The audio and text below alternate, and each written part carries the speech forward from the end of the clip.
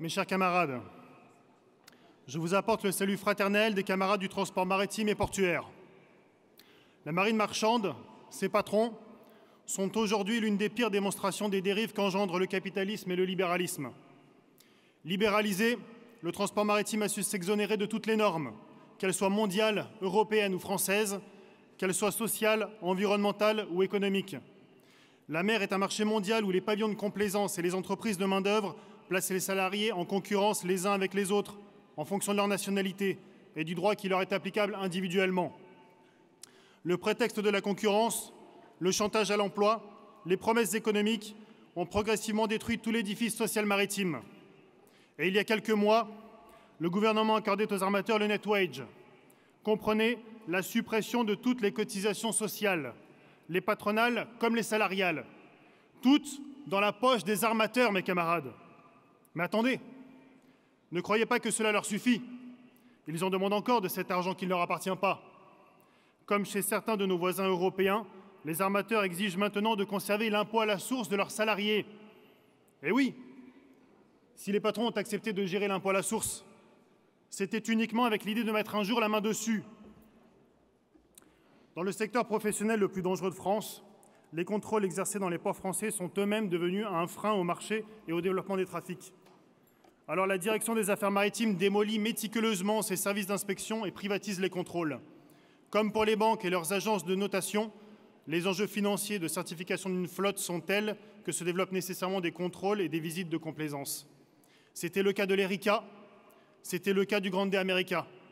Ces deux exemples catastrophiques démontrent, s'il le fallait, que le capitalisme, pour accumuler les richesses, s'attaque à tout, sans limite, aussi bien aux salariés qu'aux ressources et à l'environnement, et que la défense du social et de l'environnemental, loin de s'opposer, doivent au contraire se faire conjointement. Le secteur maritime occupe une position stratégique et cruciale. Il doit à ce titre être une priorité de l'organisation et pas seulement de notre fédération. Le transport maritime à faible coût est ce qui rend les délocalisations possibles et profitables. C'est le support de la mondialisation des productions. Si nous parvenons demain à imposer des conditions de travail et de rémunération minimum dans le secteur maritime, en Europe comme dans le monde, alors nous retrouverons sur notre territoire des milliers d'emplois industriels. Tout au long de la crise Covid, le transport maritime et portuaire a tourné à plein régime. Quand les humains étaient enfermés, à la maison ou à bord des navires, jusqu'à 16 mois d'affilée pour certains marins, les marchandises circulaient librement, sans discernement, au risque de menacer certains approvisionnements et dessertes stratégiques, faute de marins, tous épuisés ou infectés. Même en pleine crise sanitaire, mes camarades, la priorité des décideurs aurait été de préserver les profits des armateurs et des grandes entreprises, les premiers comme les secondes ayant enregistré des records de bénéfices et de dividendes. Ceux qui dominent notre État, ceux qui se le sont accaparés, le détournent à leur unique profit. Nous ne sommes pas face à des idéologies ou des stratégies économiques seulement erronées. Nous sommes face à un vol qui se part de théories économiques douteuses comme le ruissellement pour justifier et dissimuler toute sa malveillance. En cassant notre protection sociale, ils volent notre salaire différé. En cassant les services publics, ils volent notre propriété collective. En cassant notre outil de travail et de production, ils nous volent notre savoir-faire et notre moyen de subsistance. Et cela a un nom, mes camarades, c'est la lutte des classes. Notre protection sociale, justement, les travailleurs se sont battus pour la construire. La sécurité sociale n'est pas une charité d'après-guerre, c'est la conclusion de 100 ans de lutte, de lutte parfois sanglante, face à une classe dominante réactionnaire. Ne laissons pas les patrons et les partis politiques réécrire l'histoire et s'approprier nos victoires. Ne laissons pas les salariés croire qu'ils doivent leur droit à la générosité des patrons et des gouvernements et que les mêmes pourraient légitimement les leur reprendre. En détruisant nos structures collectives pour leur profit, en individualisant les droits pour nous affaiblir, ils détruisent les fondements de notre République. Ils fracturent notre société et menacent même notre fonctionnement démocratique. Mes camarades, lorsque le totalisme reviendra, et il revient déjà, ceux qui dirigent aujourd'hui, ou bien ils s'en accommoderont, ou bien ils fuiront dans leur jet privé. Et qui restera sur place, mes camarades? Qui sera organisé pour faire face? Qui se battra pour nos libertés? Il y aura que les syndicats. Mes camarades, Contrairement à certains, je ne pense pas que le syndicalisme soit mortel, pas en démocratie en tout cas. Car malgré les milliards qu'ils dépensent en propagande médiatique, les salariés ne sont plus dupes. Ils sont même en colère. Une colère qui prend des formes violentes, des formes désespérées. Ces colères qui s'éparpillent, qui se fourvoient parfois, à nous de les rassembler pour en faire l'énergie du progrès social. Les travailleurs des plateformes qui s'organisent, en France ou récemment aux États-Unis, démontrent que face à l'exploitation, il n'y a pas d'autre solution que le syndicalisme. Aujourd'hui, ce n'est pas le syndicalisme en lui-même qui est menacé, mes camarades. Ce sont ses moyens, ce sont nos structures, notre confédération, nos fédérations et nos unions départementales. Elles sont menacées par le pouvoir, elles sont menacées par le patronat, elles sont menacées par certains syndicats qui rêvent de se partager le marché du service syndical. À croire que pour eux, tout ça n'est devenu qu'un business, le business de la représentation des salariés.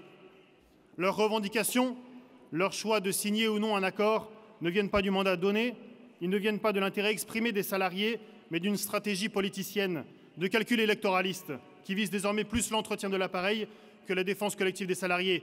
C'est contre ça que Force ouvrière s'est construite, et ce n'est que contre cela que Force ouvrière vivra. Notre organisation est faite d'hommes et de femmes libres. Notre essence vient de là, mes camarades. à conclure. Merci. Je suis désolé, mais j'en suis encore un peu loin. Notre organisation est faite de femmes et d'hommes libres. Notre essence vient de là, mes camarades, de notre liberté individuelle de penser. Tant qu'il y aura des individus libres, des individus qui refuseront d'être spoliés dans leurs droits et dans leurs dus, et qui refuseront tout autant la hiérarchie syndicale et l'obéissance aveugle, alors il y aura des syndicats force ouvrière, alors il y aura des syndicats rebelles. Voilà ce que nous sommes, mes camarades. Oui, alors oui, des individus libres et indépendants dans leur tête, ça provoque forcément un peu de bordel, et à tous les niveaux. Notre maison est ainsi faite. Et j'ose croire que notre bordel est ce qui nous a toujours préservés de la compromission et du corporatisme. Cette dérive, nous la connaissons malheureusement trop bien dans le secteur portuaire. Le rapport de force en faveur des salariés y est très important, et il est nécessaire et essentiel de le maintenir. Mais cela ne doit pas se faire à n'importe quel prix. Un rapport de force construit sur le chantage à l'avancement, sur l'intimidation des salariés et une discipline quasi militaire est plus que fragile.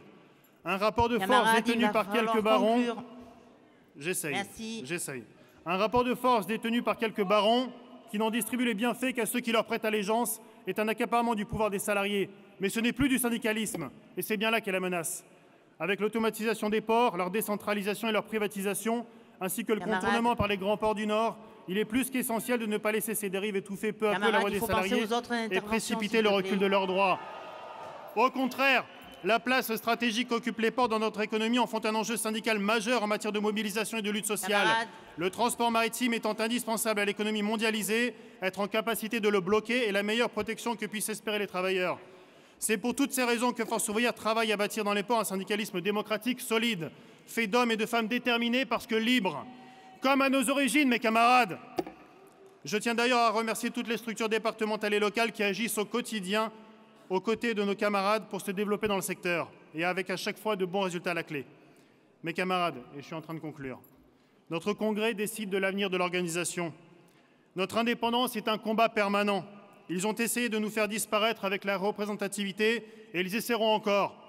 Et s'ils ne peuvent pas nous rayer de la carte, ils tenteront de nous neutraliser avec le chèque syndical ou l'adhésion obligatoire, qui n'ont pour d'autre objectif que de dénaturer notre militantisme de l'intérieur. Mes camarades, laissons les autres se perdre dans l'institutionnalisation, car ces institutions ne dureront pas. Ne laissons pas les règles du pouvoir définir ce que nous sommes, ce que nous devons être et ce que nous pouvons faire. Mes camarades, écrivons nos résolutions, qu'elles soient ambitieuses, qu'elles défendent farouchement nos acquis menacés. Ne faisons pas attendre les colères que nous voyons partout. Elles ne s'éteindront pas. Au contraire, les cinq ans qui viennent laissent présager des attaques lourdes, violentes et sans précédent aux droits des travailleurs. Plus que jamais, nous avons besoin d'une confédération forte et combative, capable de déjouer. Regarde, c'est la fin. C'est la fin. Merci, mon camarade. Plus que jamais, nous avons besoin d'une confédération forte et combative, capable de déjouer les attaques insidieuses, les discours fallacieux et de rassembler un maximum de salariés dans le rapport de force.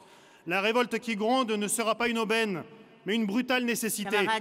une nécessité également pour sauver notre environnement et bâtir des solutions pérennes pour les travailleurs et leur cadre de vie. Alors battons-nous jusqu'au bout, battons-nous pour nos salaires, battons-nous pour notre temps libre, battons-nous pour notre avenir, battons-nous pour ce que nous sommes. Nous sommes libres, indépendants, nous sommes les travailleurs, nous sommes le syndicat.